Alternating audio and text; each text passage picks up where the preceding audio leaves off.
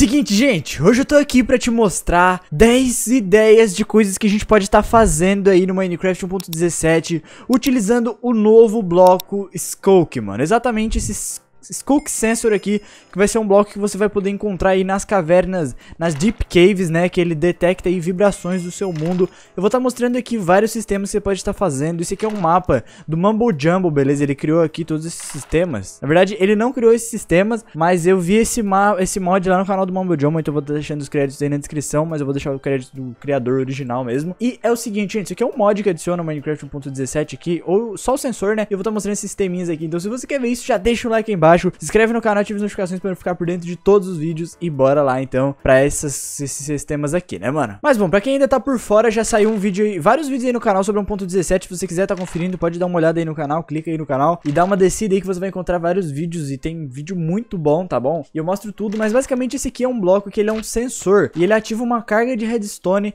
sempre que ele detecta um barulho ou uma vibração no ar. Por exemplo, deixa eu pegar aqui uma redstone, ó, e deixa eu ver se ele detecta... Ó, você viu que ele detectou essa redstone? Eu vou colocar aqui várias redstones e ele detecta próprio, próprio colocar, ó, vou colocar aqui uma TNT, só que eu tenho que colocar ela assim, ó. Aí, só que, putz, o pior é que se eu, ó, vou que, colocar aqui, ó, e vou colocar a TNT aqui, ó. Ele não detectou a TNT, mas se qualquer coisa fazer um barulho aqui, por exemplo, se eu colocar aqui uma vaca, ó, uma cow, colocar ela aqui, ela vai fazer um barulho, qualquer barulho e vai ativar a TNT lá por causa desse detector aqui, né, mano? Então, agora eu vou mostrar esses sistemas aqui pra vocês. E a gente tem esse sisteminha aqui, que é um sisteminha de, tipo, ele detecta quando o player chega no lugar e ele começa a detectar e começa a atirar flechas no jogador aqui, mano. E ele não para de atirar flechas, ele só vai parar quando você morrer, porque basicamente todo, sempre que você tá tomando dano, tá fazendo vibrações novas e tá ativando o sistema lá embaixo, então sempre vai ficar atirando. E quando você morrer, ele vai parar de atirar e vai parar de fazer barulho, mano. A gente também vai poder aqui em segundo lugar, né? Acho que tem mais de 10 aqui, mas eu vou, eu vou ver se eu mostro tudo pra vocês. Mas a gente, eu selecionei aqui uns melhorzinhos, né?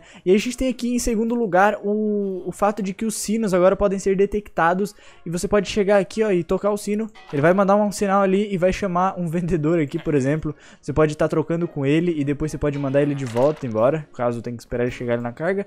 E ele vai embora. Isso aqui é muito legal, você pode estar tá fazendo várias coisas interessantes aqui utilizando esse bloco, né? Aqui também tá dizendo que os baús normais não são mais tão seguros como antes, porque, ó, aqui tem um baú que ele é de armadilha, a gente abre ele e não acontece nada agora, tá? E um baúzinho normal, mas acho que vocês pegaram a ideia, né? É só a gente abrir aqui o baúzinho que ele vai começar, ó, a tirar poções de veneno em você. Isso aqui vai acabar matando, né, o seu, seu jogador aí. No caso aqui acabou o, as poções. Mas vocês entenderam o sistema, dá pra fazer traps utilizando o baú normal e não o baú de armadilha. Em quarto lugar, a gente tem aqui um sistema de detecção de itens. Por exemplo, eu posso estar aqui, ó, Picking Up Item Detection.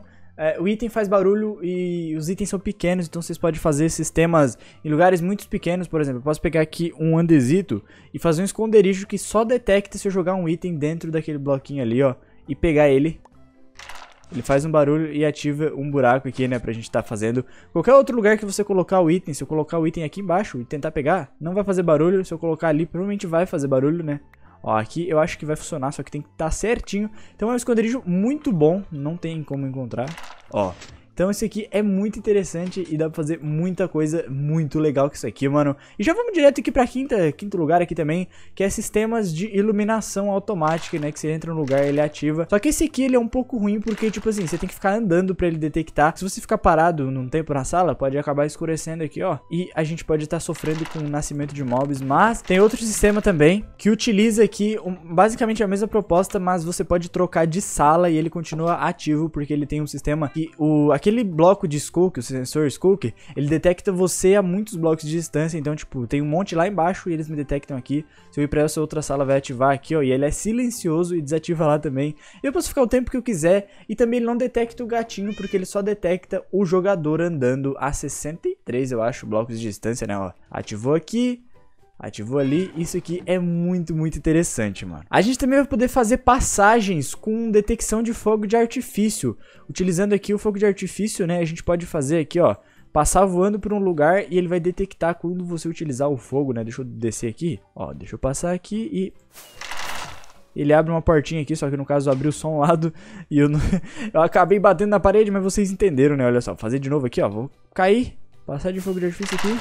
E ele abre o sisteminha pra gente. Isso aqui é muito interessante. Porque tem aqui na frente uma sequência desses bloquinhos aqui que eles detectam e abrem a porta lá da frente, mano. Isso aqui é muito interessante. Sério, gente, eu queria muito, muito, muito sugestões de coisas que vocês acham que dá pra fazer aqui. Que eu posso estar tentando fazer, criar sistemas e mostrar pra vocês aqui. Então, gente, sério, comenta embaixo e bora lá pro nosso sétimo, sétimo construção, né? Em sétimo lugar, a gente tem algo que a gente sempre quis no Minecraft, só que somente agora a gente pode fazer no Survival, né? Que, assim, antes a gente podia fazer com comandos, que era detector, de, o sensor de player quando aproximava. Agora a gente pode fazer também sem comandos, né? Que basicamente aqui embaixo fica um detector skull, embaixo de uma porta normal. E quando você pisa, quando você anda aqui, ele detecta e abre a porta pra você e fecha. Isso aqui é muito legal. Dá pra fazer assim também, ó. Só que daí você vai ter que ter uma área um pouquinho mais espaçosa. Espaçosa não, no caso aqui é mais compacto. Só que o seu, su, sua cabeça vai ter que ficar batendo no teto, então fica meio estranho. Porém, olha só, mano. Tem o Skull aqui, tem uma redstone e um bloco e acabou. Pisou, ele detectou e abriu a porta pra você, mano. Isso aqui é muito, muito, muito legal.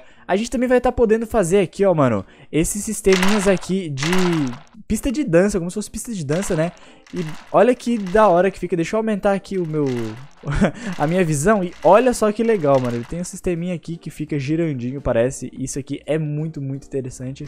Ele manda várias carguinhas, olha só, mano. Caraca, gente, isso aqui é muito divertido, mano. Outra coisa que eu achei muito interessante também, gente, é que a gente vai estar tá podendo fazer novos sistemas de ale... aleator... ale... ale... novos sistemas de aleator...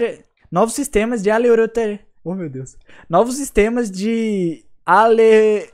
Ai. A gente vai estar tá podendo fazer novos sistemas de aleatoriedade, né? Que a gente vai poder, por exemplo, o miau do gato, o miado do gato aqui, ele é aleatório, pode estar, tá, tipo, a, a, cada. Não tem um tempo específico a cada, sei lá, 10 segundos, depois 2 segundos, depois 5 segundos. É aleatório, é totalmente aleatório. Então, tipo, você vai poder detectar aqui, ó, o gato, quando ele fazer o miau, ele faz o miau. E aí atira aqui e pode estar explodindo aqui as TNTzinhas, né? Então vai poder fazer novos sistemas de aleatoriedade, né? Também tem isso aqui que eu não sei muito bem o que que é. É basicamente... Tá escrito que engraçado, né? Que vai ser um negócio que vai criar um, um sistema meio estranho, ó. Tipo, é aleatoriedade também, ó. Fica bem aleatório aqui tudo e fica muito legal de ver, né, mano? Ah, ele fica pra sempre assim agora, ó. Porque ele fica se detectando um ao outro e, cara, parece Tetris, alguma coisa assim. É muito, muito, muito legal, mano. E agora eu vou mostrar pra vocês aqui, ó, o sisteminha aqui de detecção de distância, ó. Vocês estão vendo? Deixa eu aumentar o FOV aqui, ó. Ó, 65 block player detection. Ele detecta o player quando passa 65 blocos. Então, quando eu subir aqui, ele vai ativar aquela lâmpada. Quando eu sair, ele desativa, mano. Então, olha que interessante isso aqui é muito, muito preciso e não tem, não faz o, o símbolozinho, ele não joga sinalzinho, né? ele só faz o sinal invisível. Isso aqui é muito, muito legal, mano. Outra coisa que ele fez também aqui é um sisteminha aleator de aleatoriedade, não. Um sisteminha que quando você vai encantar o item, ele dropa aqui automaticamente o lápis lazuli pra você, né? Aqui ele não tá detectando porque a gente tá, no caso, quando, ó, vamos ver como é que funciona isso aqui. Basicamente, eu acho que quando eu encantar algum item, ele vai detectar, né? Eu, é porque LAN, LAN ele bloqueia a carga, pelo que eu sei. Mas deixa eu tentar encantar um item aqui, ó. Eu vou colocar aqui pra encantar. Ó, ele detectou e jogou mais três lápis azul aqui. Então é exatamente isso aqui mesmo que eu pensei. A gente encanta e ele vai detectar o barulho e vai dropar mais três lápis azul. Isso aqui é muito, muito legal. Vai facilitar muito o sistema aqui, né? E, mano, sério, muito, muito divertido, velho. E bom, por último, mas não menos importante, a gente vai poder fazer traps totalmente impossíveis de serem detectadas. Que é isso aqui, ó, mano. Você vai andando e ele vai te derrubar traiçoeiramente. Isso aqui é muito legal, mano. Porque não tem mais nada. Não vai ter gancho de armadilha. Não vai ter detector. Vai ter um sensor embaixo da terra que ninguém vai ver. Então vai dar pra fazer essas traps muito facilmente pra trollar seus amigos. Se você quiser, eu faço um vídeo 5 traps aí pra trollar seus amigos com os novos blocos. Comenta aí embaixo que eu posso estar trazendo. Mas por hoje é só, né, gente? Muito obrigado por assistir até aqui. Eu mostrei aqui mais de 10 coisas que podem ser feitas. Mas é isso, mano. Muito obrigado por assistir até aqui. Deixa um like aí no vídeo. Se inscreve no canal, ativa as notificações. Me segue lá no Instagram. E é isso. Valeu, falou. Até o próximo vídeo e tchau. Tchau!